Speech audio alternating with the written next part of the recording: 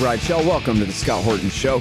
I'm the director of the Libertarian Institute, editorial director of antiwar.com, author of the book Fool's Errand Time to End the War in Afghanistan, and the brand new Enough Already Time to End the War on Terrorism.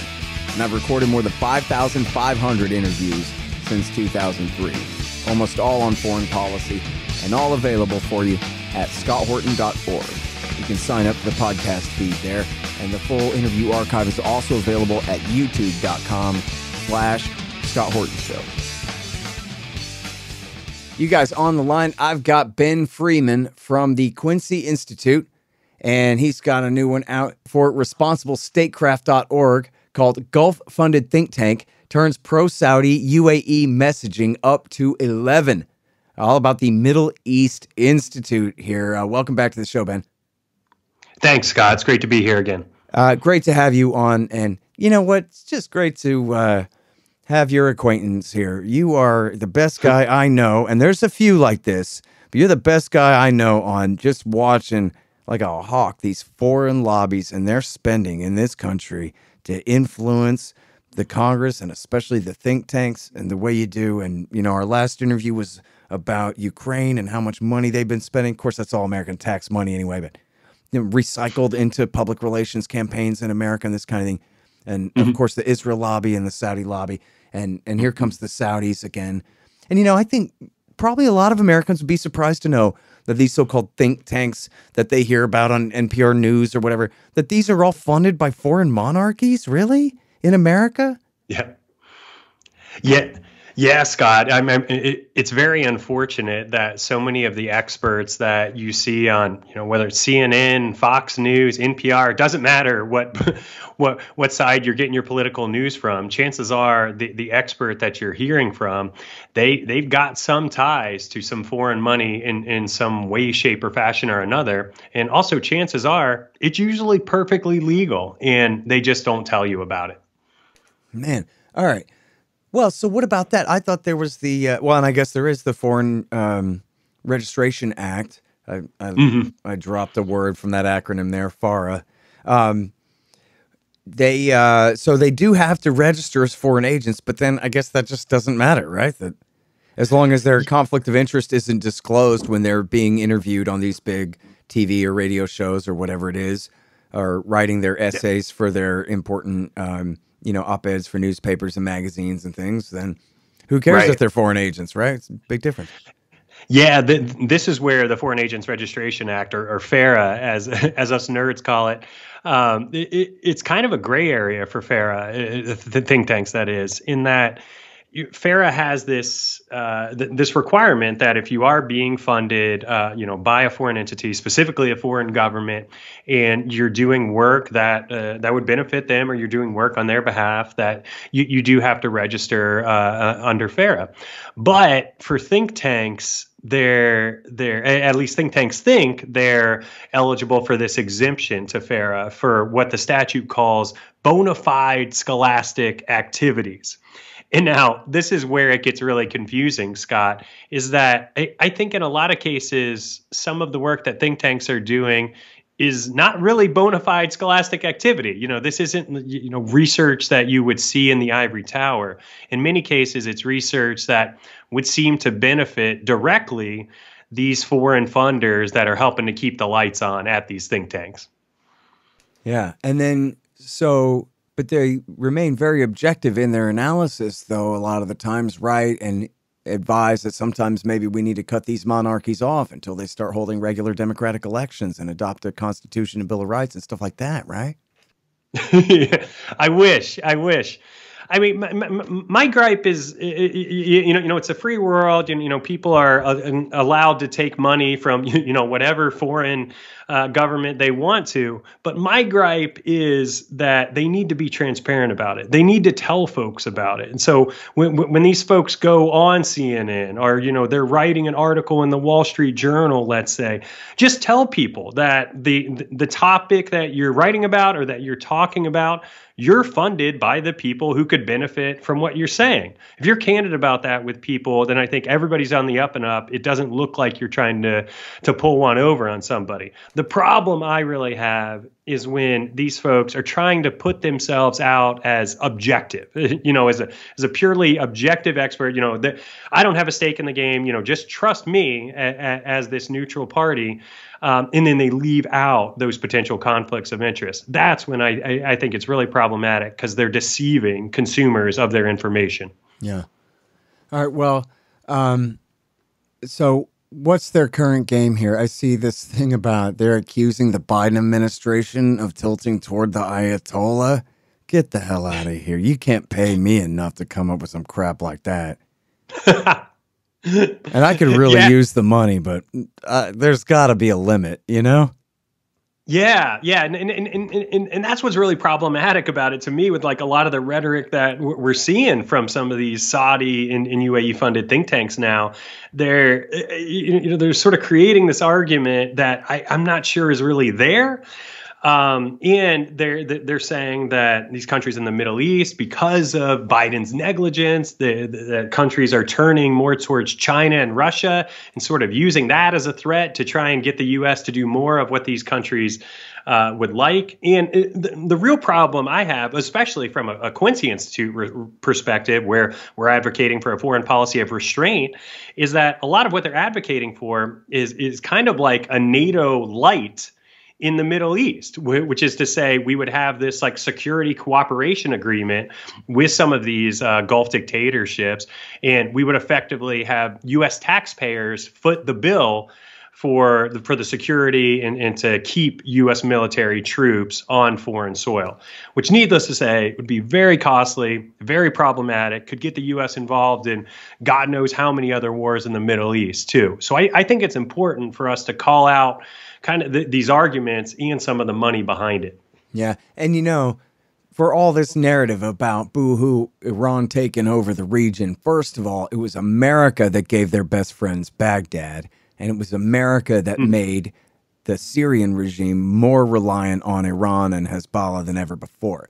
So they have to shut up and not complain about that. But then, secondly, as soon as there was even a hint that Biden really meant. The same thing. And he didn't really mean it any more than Obama did when they announced the pivot to Asia. America's not leaving the Middle East. You know, part of Middle East domination is all about controlling China's access to energy anyway. You know what I mean? We're not leaving right. the Middle East. But even when Biden seems like he kind of might be losing interest at all, we see UAE princes fly straight to Tehran. You see Saudi princelings straight to Baghdad to meet with Iranians and talk about let's dial these tensions down, maybe even find a way to end the war in Yemen. All these things. Right. Not all hell breaks loose because America leaves, but hell starts tightening down a little bit because these royal thugs no longer have the American superpower at their back, or even seemingly are losing our support at all to get away right. with what they're getting away with, right? It's like a little bully with a big bully behind him kind of thing.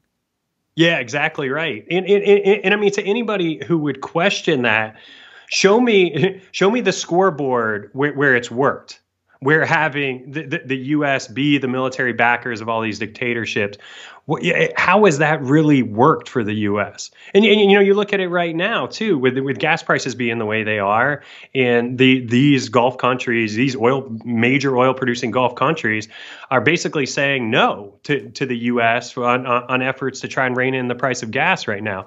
So if, if they're not even going to help us, uh, you know, rein in the price of gas for American consumers what exactly are American taxpayers getting out of, of this deal?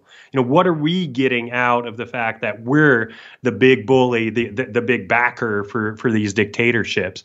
I'm just not seeing the return on investment for for your regular Americans with this arrangement we have now. Yeah, and uh, did this change? The last headlines I saw was that uh, bin Nayef and bin Salman the princelings in charge of UAE and Saudi wouldn't even take President Biden's phone calls? Yeah, yep, yep, yep.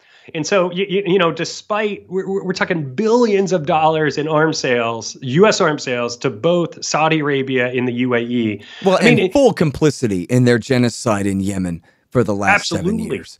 Yeah, I, I, you beat me to it, Scott. That, that's, that's what I was going to say. Like they, they, could not commit most of the atrocities they're committing in Yemen without U.S. military weaponry and U.S. military training, U.S. military support. You, you take all that away, and you know a lot of the devastation in Yemen is just not happening. And yet, despite those billions of dollars in tens of billions of dollars in military equipment going to these countries, including armed drones going to the UAE, including F-35s, we're talking some of our most advanced military weapons weaponry, and they won't even take our calls. What what kind of relationship is that? You, you know, if if I'm in a relationship like that with with a girlfriend, you know, I think I dump her. and so at some point here, when does the U.S. just say, "Oh, okay, I've had enough"? Yeah, I like this sentence in your piece. The Middle East Institute did not respond to a request for comment. Well, what the hell? How illegitimate are they that they just think, uh oh, they had a meeting. Should we talk to this guy? Let's just ignore him and hope it goes away? Because what do they have to say to you in their own defense? Look, the fact that Saudi Arabia really, really, really likes what we say is just a coincidence. They happen to have really great opinions like us. That's all. Yeah, I, I, I was surprised that they didn't comment, and I mean, for for, for me, it's you know you know asking for comment is just journalistic integrity. You know, we I had a bunch of information in there. You know, I saw a pattern of things that they were saying. Um, and you know seemed seemed to me at least to be very very clearly supportive of the goals and aims of Saudi Arabia and the UAE. Um, and in all these pieces, they, they weren't mentioning their funding, and so I wanted to point that out to people, and I very much wanted them to comment on it. What I was really hoping for, Scott, honestly, was them to say, you know, a sort of mea culpa, um, you know, our apologies. You know, we're we're we're, we're striving to be more transparent. You know, we'll we'll go ahead and ask that to be added to the pieces, uh, but they didn't respond uh, at all to that request for comment, unfortunately. So uh, I guess we'll never know, you know, how they really felt. Yeah. Hey, look, we're talking. Is it true? Am I reading this thing right? Tens of millions of dollars for just a little old Middle East institute. Oh yeah, yeah, yeah. They didn't. In fact, just a few years ago, in, in one fail swoop, one gift, they got twenty million dollars from the UAE, and you know it helped to to to fill some of their senior ranks, hire staff, helped to help to bolster their their their nice new facilities there.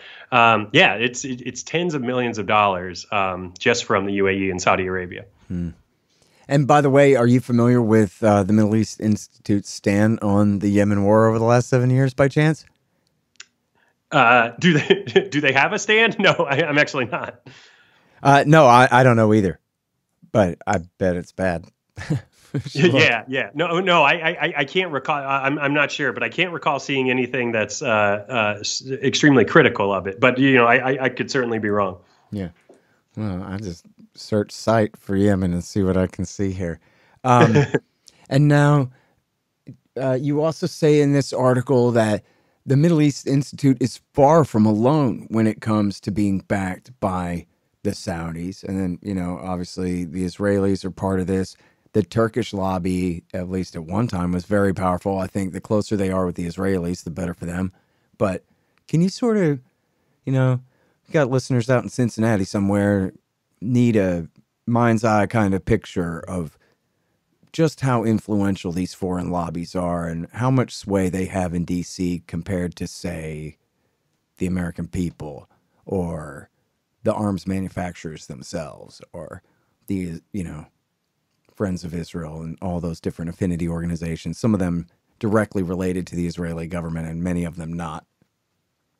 Oh, e- e- enormous, Scott. It's hard to put it in perspective, but I, I, I think it's fair to say that these foreign governments are, are far they're far more powerful than a lot of our domestic lobbying groups. Even even you know, domestic in- interest groups can be very powerful, but for for these foreign lobbies, they, they they've sort of got their tentacles in all these different pots of influ- influence. They've got their lobbyists, they've got their public relations professionals working with the media. Um, in fact, they have advertising deals directly with the media uh, itself. You know, CNN, for example, has this uh, separate Dubai Now kind of outlet that that puts out what I think are frankly puff pieces about the UAE, um, and they're under the banner of CNN because they have this arrangement with the the UAE.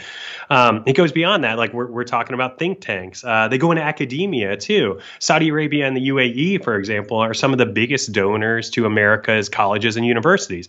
Uh, Qatar is actually the very biggest donor to America's colleges and universities. Um, so you get all these different. Wait, wait, wait, wait, wait. Say that last thing again. Qatar is the largest uh, foreign donor to America's colleges and universities, more than China, uh, more than any other country, any other boogeyman that folks might think up. Qatar takes the cake. Uh, and these foreign governments, there's not even a tradition or a moray or nothing that prevents foreign governments from just bankrolling American universities. And how much money are we talking about there? Oh, billions and billions of dollars. Actually, more than uh, the Department of Education actually tracks this. There's a for for, for your really inquisitive listeners. There's a foreign uh, foreign gifts database that the Department of Inter, uh, Education tracks, and th- they've tracked more than ten billion dollars uh, in in money coming from from foreign powers. Um, the Qatar itself uh, ha- has donated more than a billion dollars of that. Hmm. Um, so we're talking just huge, huge sums of money. And my, my alma mater, Texas A&M, for example is one of the largest recipients of Qatari money too. Um, so even you, you, you, know right there in Texas where where you're at, Scott, you're seeing this money uh, uh, uh, affect right in people's backyards. It's not just in D.C. It's the point I always try to make to folks. The lobbyists and everything, sure, they're roaming the halls of Congress here, but you know wherever you are, chances are some of this money is flowing there, and it's very likely flowing to your local college and university. Right. Hey, after all, you know, as you say, comparing them to American lobbies, like the most powerful ones, say the NRA or the AARP or mm-hmm. Friends of Israel. That's a foreign lobby and a domestic one. Uh, that's still here. We're talking about sovereign governments with budgets in the hundreds of billions of dollars a year, whatever. They can afford all this is absolute chump change to them to outrank. If you had every peace activist oh, yeah. in America, including all the millionaires, all chipping in as much as they could possibly spare it doesn't compare to what a sovereign government can just print or borrow from China or whatever it is. right. Know? Right. So. No, th- th- that's exactly right, Scott. And you know, some of the figures that you know I throw out to people, oh, you know, thirty million dollar lobbying campaign. People are like, whoa, that's a lot of money for these countries. You know, if you're Saudi Arabia, th- that's a rounding error in your budget. you know, that's nothing to them. And if you can, if you can spend thirty million dollars on on a lobbying and PR campaign, and use that to secure a, a 10 plus billion dollar arms sale package, that's a gigantic return on investment that I think anybody on Wall Street would be glad to get. And these foreign governments are getting it all the time, unfortunately. Sorry, hang on just one second. Hey guys, anybody who signs up to listen to this show by way of Patreon will be invited to join the Reddit group. And I'm going to start posting stuff over there more. That's patreon.com slash Scott Horton Show. Thanks. Hey, y'all, libertasbella.com is where you get Scott Horton Show and Libertarian Institute shirts, sweatshirts, mugs, and stickers and things, including the great Top Lobsters designs as well. See, that way it says on your shirt why you're so smart. Libertas Bella, from the same great folks who bring you ammo.com for all your ammunition needs, too. That's libertasbella.com. You guys check it out. This is so cool. The great Mike Swanson's new book is finally out. He's been working on this thing for years. And I admit I haven't read it yet. I'm going to get to it as soon as I can, but I know you guys are going to want to beat me to it. It's called Why the Vietnam War Nuclear Bombs and Nation Building in Southeast Asia, 1945 through 61. And as he explains on the back here, all of our popular culture and our retellings and our history and our movies are all about the height of the American war there in, say, 1964 through 1974. But how do we get there? Why is this all Harry Truman's fault? Find out in Why the Vietnam War by the great Mike Swanson. Available now. By the way, I searched the Middle East Institute site, mei.edu, for Yemen, and I found why the end the Yemen war narrative is problematic by oh. Oh all the, al Dawsari.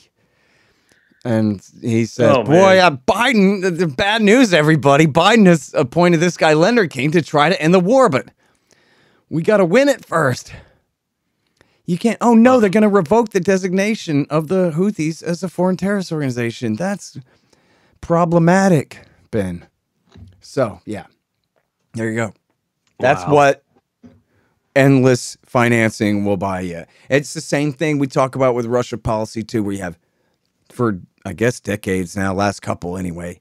You have all these think tanks talking about the possibility of confrontation with Russia and with China, where they just omit the word nuclear in the entire damn study. And you just, I mean, that's no way to get paid. Well, we can never fight them. We're deterred by their H bombs. Well, then you don't get your $20,000, dude. So, you know, so nobody writes that one.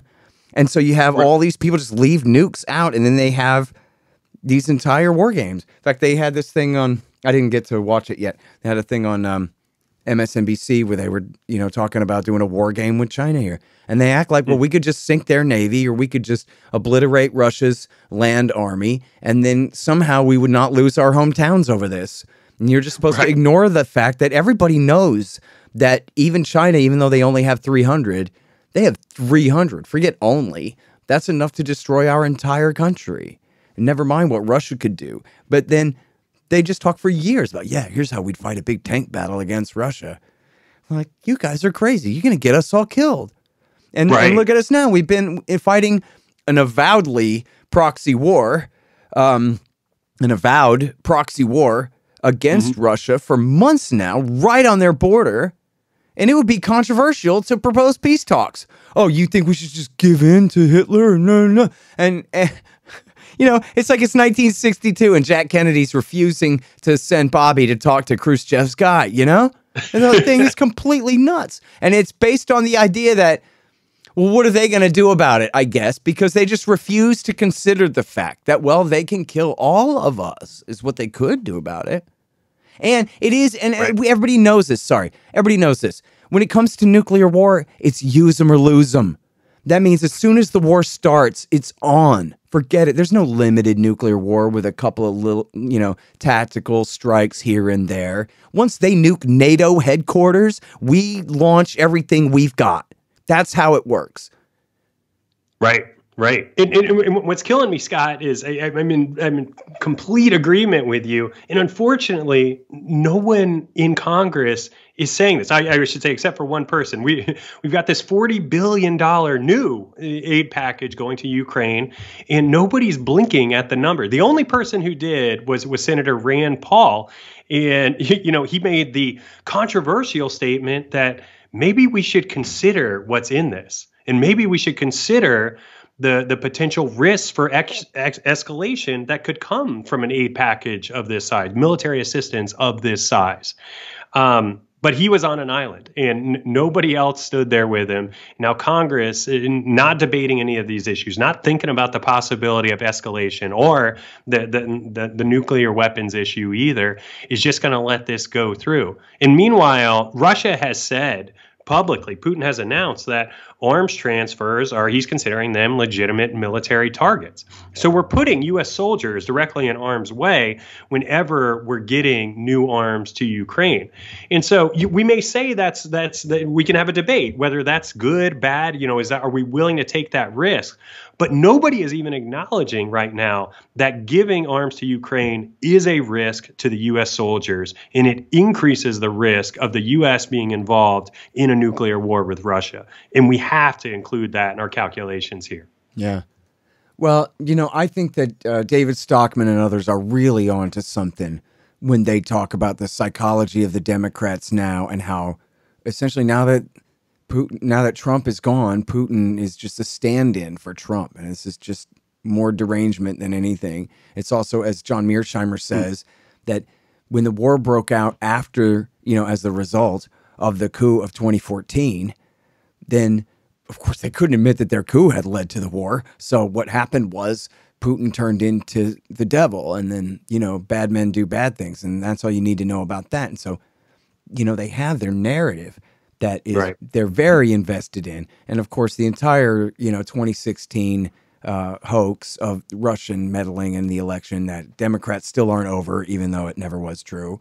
Um, and so you have all that, but then it seems really important to go back to your last piece that we talked about here about the Ukraine lobby, where and I believe you broke it down between the think tanks, the congressmen, and the media and how mm-hmm. they just dumped in more money than the Israelis in just the last couple of years in order to influence. And it's just so easy to see, like, even if that's just the margin, they're all ideologically committed for whatever reasons. You know, Putin is a conservative Christian white guy and they hate that. Whatever is their stupid problem, you know, um, that this is the margin, is all this money. Is that that's right. The consensus is Ukrainians heroes, black sun and all, and uh, and Putin's the devil in this script, and that's it. And so you just have it's such a consensus. It's unreal. I haven't seen anything like this since 20 years ago. Even during Syria, well, no, they were this stupid on Syria too. But but this is right up there, right, with like the right. lynching of the Branch Davidians, the the lynching of Saddam Hussein, of Bashar al-Assad, uh, with the way that they're doing, you know, uh, rounding up this hate mob uh, kind of mentality against the Russians now. And then, but then you have all this money coming in so that if you're a congressman, you'd be crazy to go against this right now, right? It would just be, never mind yeah. principle, it would be irrational for you to try to go against this tide. You know? Yeah, I mean the the, the war machine is rolling right now, and uh, it's it's very tough to stop it. And and how much money are we talking about that the Ukrainians are spending on these PR firms again? Uh, the U- Ukrainians, the Ukrainian lobbyists are kind of a cheap date, um, and, and, I say that out of affection. They uh, Ukrainian interests spent uh, just over two million dollars last year on their their lobbying and PR. No, no, no. But you told me they were out outspending the Israelis and the Saudis even. Oh, I, they, they're out working. That, that that was the other part I was going to say. Okay. They're, they, that's why I call them kind of a cheap date on K Street. Um, the, the, the Ukrainian lobbyists, they work harder than any other lobbying uh, lobbying team I've ever I've ever seen. You, you, know, the, the Ukraine lobby last year made over ten thousand political contacts, and, and to put that put that in perspective, you know, the Saudi lobby, which which we've talked about a lot, Scott.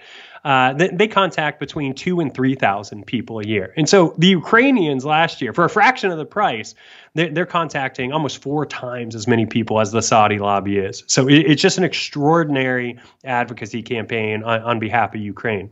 Hmm.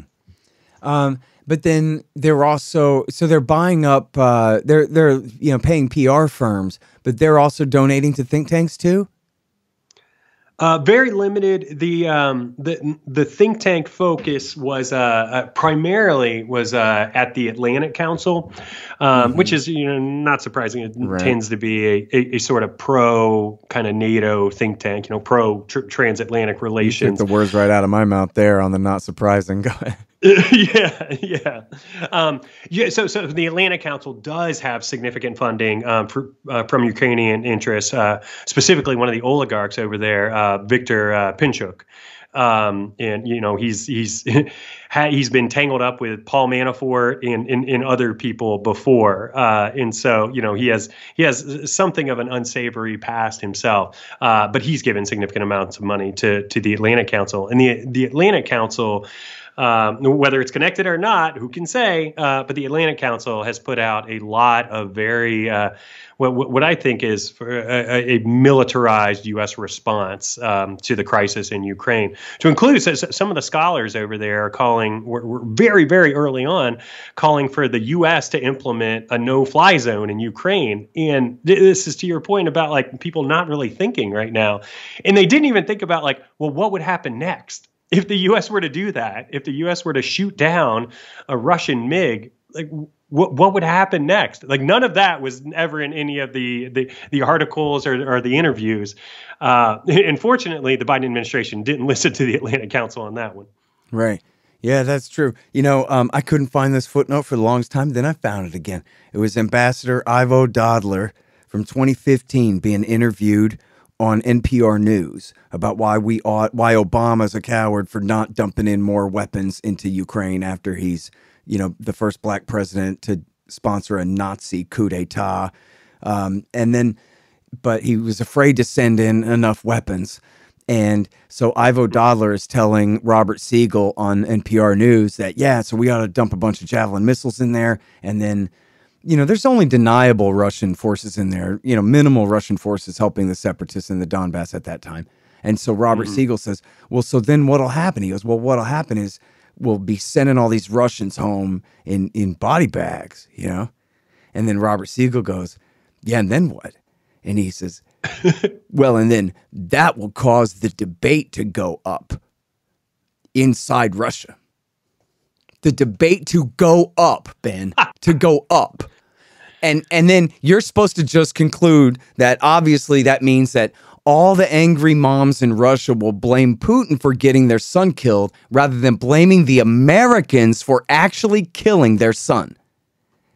And you're just Right. supposed to just in in where he says the word up, you're supposed to daydream all the rest of this crap about how this is definitely going to fill in our interests and will be contrary to Russia's interests.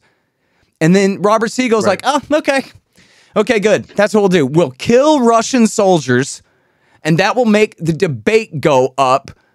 Great interview, Ivo Daalder. Thank you for your report about why we ought to dump a bunch of Lockheed products into and and oh, I was gonna start claiming who else was the byline on that, but I almost forgot. I want to make sure I'm right, so I'm not gonna claim it. I think Bruce Jackson's name was on there, wasn't it? Anyway, Yeah, th- I mean, I mean, Scott, I think that that's exactly just like ripped from the headlines today. People aren't thinking about you know, what happens next on any of these proposals. You know, whether it's the no-fly zone or, or, or arms sales. You know, what what happens next on those? Like, what's the end game for this? You know, one of my colleagues, George Beebe, lifelong intelligence guy, just had an article for Responsible Statecraft too, that was about how does this end? Where let's let's let's play chess with this instead of just playing checkers or I don't know. I think we're we're playing tic tac toe badly right now. So any any advancement up would be good. But George Beebe asks, eh, how does this end? And that's the way I wish more folks in Washington would start thinking about this. When we give those arms over there, how does that lead to a more peaceful resolution? And I, I frankly don't think it does. But we're not even having the debate right now. yeah. And by the way, since I brought up, I knew I was screwing it up. It wasn't Bruce Jackson that was on there. It's Strobe Talbott, the guy who was the Oh. primary leader of NATO expansion in the first place, right there with uh, Michelle Flournoy, who uh, championed the Afghan surge that completely failed and oversaw its implementation as Deputy Secretary of Defense for Policy, and Admiral James Stavridis, who would have been Secretary of Defense under Hillary Clinton, or maybe National Security Advisor, but maybe Flournoy would have been Secretary of Defense. But either way, he's the guy who told the New York Times in January that, yeah, we don't know anything about defeating an insurgency, but we sure know how to back one. And that's why we want to dump a bunch of weapons into Ukraine. Is they wanted to, to see the war. And we're going to replicate like we did in Afghanistan in the 1980s in Rambo 3. And we're going to replicate, he's bragging about this openly the New York Times. We're going to replicate the dirty war in Syria under Barack Obama. You know, the one that led to the caliphate and then Iraq War 3 yeah, we're going to do that to the Russians. And we're going to pour in not just tow missiles, but javelins and stingers. And just these people are crazy. Crazy. Yeah. You know what that's going to do? See, here's the thing, Ben. That's going to cause the debate to go up in Russia. So you can see how that's going to solve all our problems, right? Yeah, I, I, I mean, an, another thing too to say about all this too is uh, on, on the next steps front, people forget how often in U.S. history U.S. arms are later used against U.S. troops. And we've seen this in Yemen, we've seen this in Afghanistan, we saw it in Iraq. That we ship arms over there, our, our, our enemy combatants get their hands on U.S. weapons in one way or another, and then they eventually use them to kill U.S. troops. And we're not thinking about that right now in Ukraine. We're not thinking about that at all. How, you know, if we start sending tens of billions of dollars in arms over there, what's the potential risk that these weapons could ultimately be used to kill our men and women in uniform? And I, I just wish, once again, that we were at least having these debates and conversations. But right now in Congress, we're absolutely not. Yeah. Well, and look, especially since the recent part of the war broke out at the end of February, they're doing everything they can to play down all the neo-Nazism of the Azov Battalion and right sector and light groups there, C-14 and these other groups. But if you've been paying attention since 2014 and 15, there's no question that guys just like the guy who did the massacre at the grocery store in Buffalo the other day, a white supremacist who uh, killed all these innocent black people shopping, uh, was wearing a big white sun logo on his chest. guys exactly like him have been traveling to Ukraine to fight with the Azov battalion against the ethnic Russians in the Donbass since 2014. They've come from all over Europe and the United States.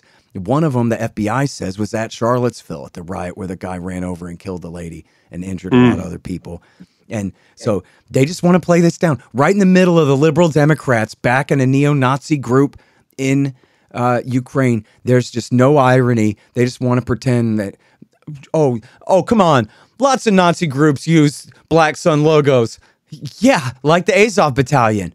I mean, what are we talking about here? This is completely crazy. This same guy could have been a moderate rebel fighting for America, fighting for the CIA in Ukraine at this exact time. Just like when you have ISIS attacks in America while we're backing them in Syria in the Obama years. This is completely nuts, man. You couldn't make this up. You know, the the truther kooks would would swing and miss. It's just too nuts, even for them. Yeah, yeah, yeah. It, it, it's a sad state of affairs all the way around. It's completely crazy. Um, well, listen, if we don't get all nuclear bombed to death, which I actually think is a there's a reasonable chance that that's going to happen now. Um, I hope we can talk again soon, Ben. Thank you. God, on that cheery note, Scott, I really do look forward to talking to you again. I'm usually not that much of an alarmist, but Joe Biden's the president right now, and we got a border war right there on Russia's western border, man. I just think that Yeah. things could be better.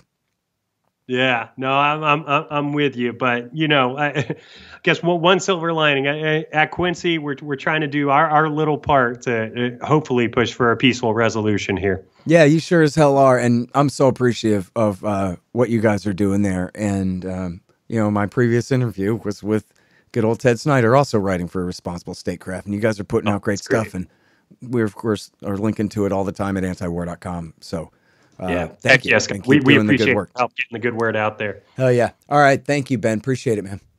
Yeah, take care, Scott. All right, you guys, that is Ben Freeman. He is at responsiblestatecraft.org. And this one is called Gulf Funded Think Tank Turns Pro Saudi UAE Messaging Up to 11.